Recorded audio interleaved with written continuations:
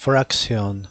Here is 2, therefore 2 equal numbers that multiply are 144.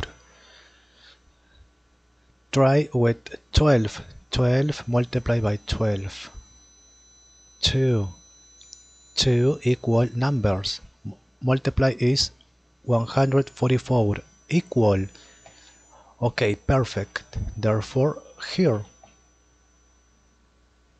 1 exponent is 1 therefore this is equal number 12 okay. Finish